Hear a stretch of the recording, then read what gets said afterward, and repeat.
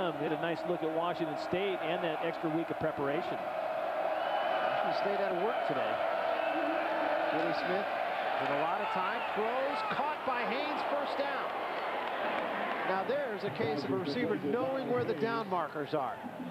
16 yards and a first down. And that's also a case of a receiver knowing his quarterback. These two played together at Grossmont JC, and Haynes caught not only a couple balls, 46 balls for 830 yards and 11 TDs from Akili Smith. He knows where that ball's going. He didn't mean to throw it that high. Nice play, Daylon McCutcheon right there to drill Donald Haynes, but not after a first down.